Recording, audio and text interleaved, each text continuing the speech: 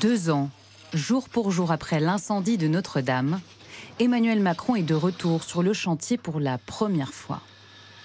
En combinaison et casque vissé sur la tête, le président est venu constater l'avancée des travaux. Qu'est-ce que vous avez mis donc là Et saluer les équipes au chevet de la cathédrale. Ah, Je crois qu'on est tous, euh, on est tous impressionnés de, de ce que nous voyons. Impressionnés de tout le travail qui a été fait depuis maintenant deux ans. Je crois que chacune et chacun se remémore aujourd'hui là où nous en étions il y a deux ans, l'émotion euh, qui était la nôtre et l'émotion, je dirais, de, de tous les, de tous les catholiques, de toutes les Parisiennes et tous les Parisiens et tous les Français. Le 15 avril 2019, Notre-Dame, beauté gothique, s'embrase. Et le monde entier retient son souffle. Good evening. It is one of the most famous buildings in the world. Die Kathedrale Notre-Dame in Paris ist am Abend ein Feuer ausgebrochen. Sous l'œil des caméras, la flèche de Viollet-le-Duc s'écroule. Dans les rues de la capitale, les Parisiens sont abasourdis. Deux ans plus tard, Notre-Dame n'est pas encore définitivement sortie d'affaire. La sécurisation de l'édifice va s'achever dans quelques mois.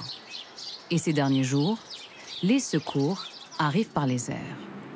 À l'aide d'une grue de 80 mètres, la plus grande d'Europe. Des pièces de charpente massives de plus d'une tonne. Là, on a posé quand même quelques-unes, du coup, euh, on commence à avoir le coup de main. ouais. Du coup, Ça va, ça va de mieux en mieux. La pose de ces cintres en bois, 60 au total, va permettre de soutenir les voûtes les plus fragilisées de la cathédrale. Des pièces réalisées sur mesure. Tous ces cintres-là, il n'y en a pas un qui est identique. Ils ont tous été dessinés, calculés et dimensionnés aux mesures exactes des voûtes. Et comme aucun arc n'est identique, évidemment, aucun cintre n'est identique.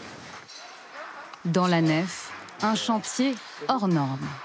Une forêt d'échafaudage, des dizaines de milliers de tubes d'acier, 150 ouvriers spécialisés, artisans, soignent Notre-Dame. Parmi eux, Marie Parent. Cette restauratrice redonne une nouvelle vie à ses peintures murales après les avoir nettoyées. Alors le plus dur, été d'enlever la crasse qui avait sous la poussière de plomb. Mais en tout cas, ça n'a pas impacté la peinture elle-même. La couche de crasse a protégé la peinture du plomb. C'est-à-dire que la poussière de plomb a été en surface et pas dans la peinture. Le protocole est minutieux. Et sous les voûtes de la chapelle, le résultat est spectaculaire.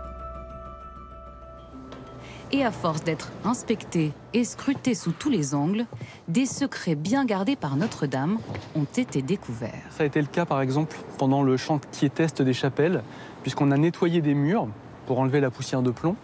Et en nettoyant ces murs, qui étaient très encrassés déjà avant l'incendie, on a retrouvé à l'intérieur de la cathédrale des traces de peinture murale, probablement anciennes, peut-être même médiévales, qui n'étaient pas du tout connues jusqu'à présent et qui vont nous amener euh, à complètement euh, euh, revisiter l'histoire de la cathédrale, à mieux comprendre comment elle a été conçue au Moyen Âge Sous l'œil des gargouilles, la phase de restauration de la cathédrale débutera cet hiver avec une promesse rendre au culte et ouvrir au public le monument en avril 2024.